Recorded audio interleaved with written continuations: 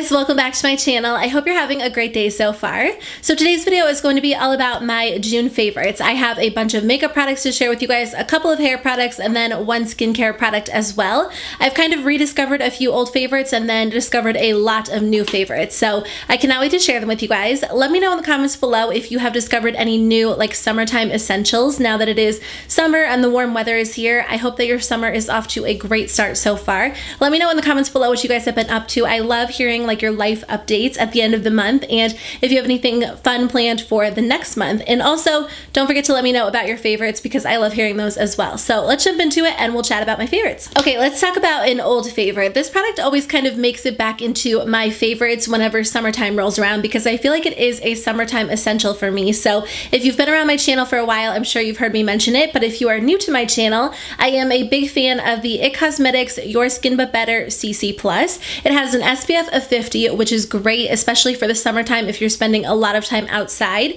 And right now I'm mixing the shade Fair with the shade Light. Most of the time I wear the shade Fair, but I do have a very slight tan from my summer vacation, which is quickly fading, so I'm sure I'll make it back into just wearing light. But for now, when I mix these, it kind of creates the perfect combination for me. So being someone with oily skin, this definitely doesn't sound like a product that I would enjoy or that I would recommend for oily skin, but there's something about it that just works. It is the only CC cream that I enjoy. I really don't like BB creams or CC creams because I definitely prefer more of a full coverage look, but this one gives you a lot of coverage, especially for a CC cream. So whenever I'm going for like a minimal makeup look or I just don't want to wear a full coverage foundation, I will always reach for this. It does a great job at evening out my skin tone, but making it look really healthy and glowy. It's definitely a hydrating product, so I do have to use a mattifying primer, which I'll talk about in a second, but it just kind of lets my skin breathe. It doesn't weigh it down, but it does still do a good job at evening out my skin tone. So I will reach for this more days than I'll reach for like a full coverage foundation during the summertime. So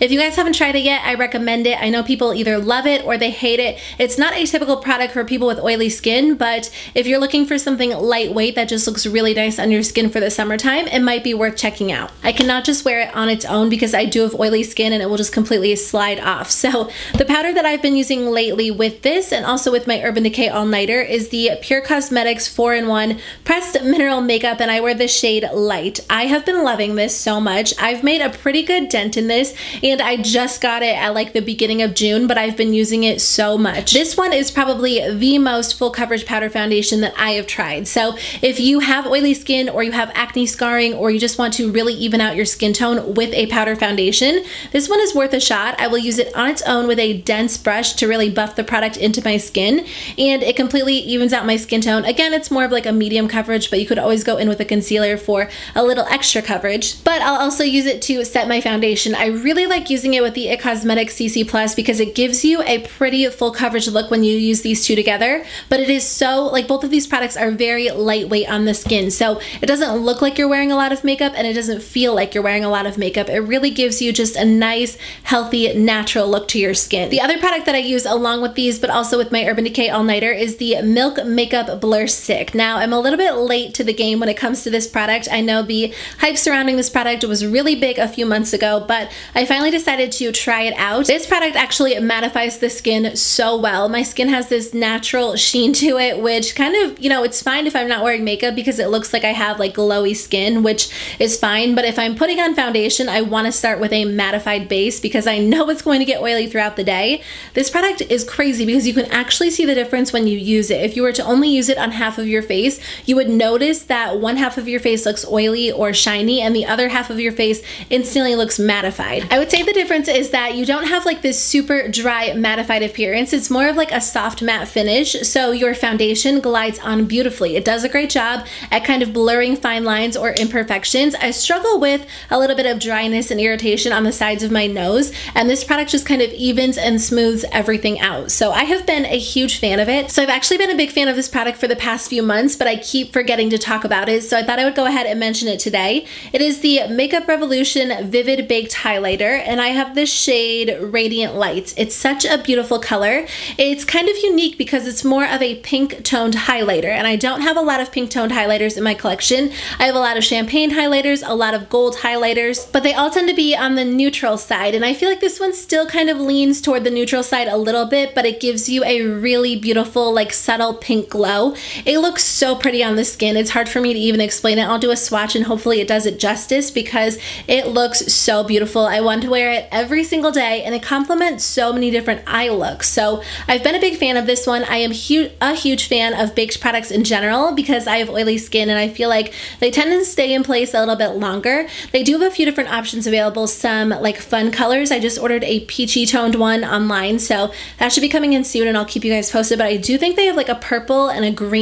I could be wrong. I'm not exactly sure, but I don't usually like venture into crazy colors when it comes to highlighters. But I think this pink one is kind of like on the borderline of like a crazier color and a safe color because it still looks pretty natural on the skin. But if you guys have been wanting to try something different, this might be a great option for you. It's just, it's a really high quality product. It looks really beautiful, so I definitely recommend it. So one of my favorites is the Catrice Cosmetics Smoky Matte Powder Liner. This one is a really cool, unique product, at least to me. I had never heard of anything like this before, but it is a matte black powder kajal with a thin foam tip. So you apply it like a liquid liner, but it's actually a dark black powder. So I feel like it gives the eyes a really beautiful smoky effect. I'll actually use this when I'm going for more of a natural makeup look. Like sometimes I'll skip liner, but if I still want lighter and more of like a diffused eye look, I'll go for this one because it's not quite as harsh as liquid liner and it looks beautiful all over the eyes. I'll just blend like a bronzer into the crease, apply this, apply mascara, and I'm good to go. I mean, of course you can just take like a liner brush and eyeshadow and do that, but there's something about this applicator that just makes it look like you tried harder than, you know, a brush with eyeshadow. It gives your eyes a really beautiful smoky effect. So I'm a big fan of this one. I feel like it's easy to use and it's really unique. It's different than like a harsh liquid line. It's something a little bit more soft and subtle. So I've been using it so often. So I did just recently finish up a bunch of eye primers. So I've been trying out a new one. This one is the Smashbox Photo Finish Lid Primer in the shade Light. So they do have a light, medium, and dark. And then they also have a white and a black. So if you're going for like a really smoky eye, the black would be perfect. Or if you want like a really bright, colorful eye, the white would be perfect as well. And then the light one is great for lighter skin tones, of course, medium and deep. So I'll do some swatches because I do have all of them so you guys can get an idea of what they look like. But I really like this primer. This primer is very velvety, so it goes on the eyes beautifully and it helps my other shadows to blend on really nicely. I have been struggling with a little bit of dryness on my left eye. It seems like it's been going on all year at this point, but some primers can kind of enhance that dryness and then my eyeshadow won't go on evenly. This one glides over my eyes and my eyeshadows go on just seamlessly. So I've really been a big fan of the Grande Lash and Grande Brow again. So I started using these back in March and I filmed a video on them I think in April and I've been a big fan of them but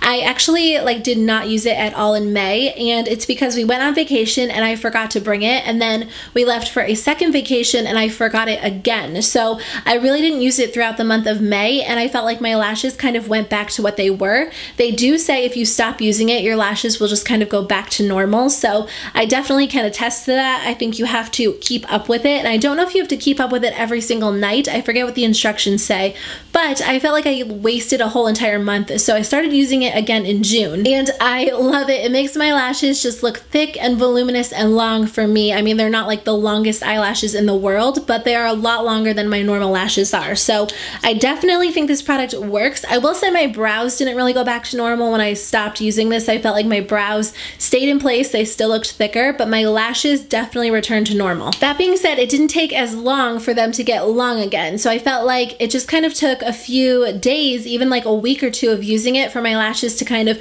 return to that longer thicker state. So I am not going to quit using this. I feel like it is a good investment because it's better than false lashes. I'm just sick of false lashes. I haven't really worn them since I want to say like March or April and I my eyes are so happy. They're less irritated, my eyelashes are longer and I save so much time in the morning. So I definitely recommend them. I think they really work. They're just they're good products. They're not gimmicky at all and they are a little bit pricey, but I think in the long run they're worth it. Okay, I have a few hair products and then one skincare product. So I've been using the same shampoo and conditioner throughout the month of May and June and I'm out of them. I have to reorder them because they have become my favorite. They have just worked wonders for my hair. You guys might know, I mean, maybe you don't know, maybe you don't watch all my videos because who has time to do that, but I've been talking about how I want hair care products that are like silicone free, paraben free, cruelty free, and all of that stuff. So these are all of those, and I think they're sulfate free. So these are the Nutra Reparative Shampoo and Conditioner with Desert Date. They are meant for dry, damaged, and brittle hair. I used up the shampoo and I'm almost done with the conditioner, but they are so good. First of all, they smell amazing because they have this desert date in them, which is obviously supposed to help the health of your hair, but it adds like this really nice, just subtle, pleasant scent to them. But they do a great job at cleansing my hair without stripping it. So it's not dry at all. We were at the beach, we were in the pool, I was in the sun like all throughout the month of May, and my hair looked so good. That never happens because usually like the sun and the salt and the chlorine will completely strip my hair and make it so dry and brittle. But I used these products and it made a huge difference. They are so good. They do a great job at keeping my hair shiny and healthy and just thick and voluminous and I love them. I think that I found like my essential hair care products. So I'm absolutely going to repurchase them. I need to go online and do it tonight actually because I'm almost done with the conditioner as well. But I had to throw them in this video, you guys, because if you've been looking for a good like paraben free, cruelty free, I think they're silicone free. Just hair product that's a little bit better for you. Try these out. You will not regret it. They are so, so good. The only downside is that you get such a small amount of shampoo. I use so much shampoo, so I had to use it very sparingly. Thankfully, I didn't wash my hair every single day during May and June, or else I would have been out of this in like a few days but I tried to use it sparingly because they are a little bit on the expensive side, but I do feel like they're worth it. I'm I'm getting to the point where I'm like willing to invest a little bit more in hair care products if they do work really well for my hair, and I feel like these two are worth the money. The other product that I've been loving is from the brand IGK. I just talked about this in a haul video, but I had filmed that video like 10 days before, so I have been using it for a little while. This one is their Beach Club Texture Spray. It is the best texture spray that I've personally tried. I try a few here and there, but but honestly I haven't found one that really like works wonders for my hair until this one. It works so well. It works when I straighten my hair, when I leave it natural, or when I curl it to add a lot of volume. What I've been doing is just like blow drying my hair and straightening the roots and then kind of spraying this in the rest of my hair for a messy, beachy look. And it makes my hair so thick. I actually wore like a ponytail the other day, which I never do anymore because my ponytails look so thin and pathetic, but this one actually made my ponytail look really thick and voluminous. So I love it. The great part is that it actually lasts into the next day. I put my hair in a messy bun the next day and my messy bun was huge because my hair was like so thick and voluminous. So it really is a good product. I would say if you're looking for something to add like a lot of volume and texture to your hair, definitely try this one out. It's so good. I also like it because it doesn't make my hair feel dry. A lot of texture sprays will make my hair feel brittle and just like it's going to break off and like so dry and chalky. This one does not make your hair feel like that So I definitely recommend it. It is such a good product. I want to try more products from this brand because I was so impressed by it. And the last product I want to talk about is from Tarte Cosmetics. It's just a little deluxe size sample of their friction stick. I actually had two of these and I was surprised because they actually are still like both, there's still product in them. They last for a really long time. I don't use it every day. I probably use it like twice a week, but it's such a good exfoliator. It's actually a exfoliating cleanser. So you can use it as a cleanser. I usually go in and remove my makeup and then whoops and then go in with this if my skin is feeling clogged or I just feel like I really need to exfoliate it. It's gentle on the skin so it doesn't feel really rough or harsh but it still does a good job at like unclogging pores and just kind of smoothing your entire face. What surprised me about this is you really only need a small amount. You just take the stick and kind of rub it on your face and I usually do like my cheeks, a little on my nose and then maybe my forehead and my chin and then you go in with your fingers and massage it and it kind of like spreads the product out. So I've been a big fan of it. I like it because it is a gentle exfoliator. It's not anything too harsh, so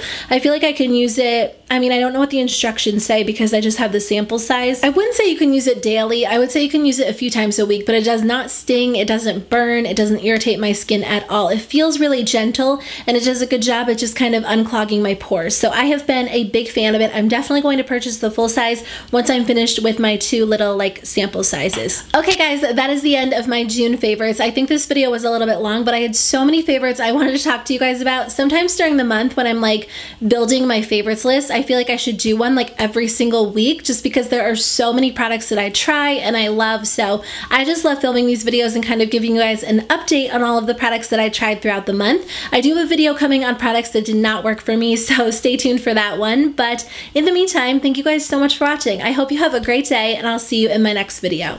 Bye.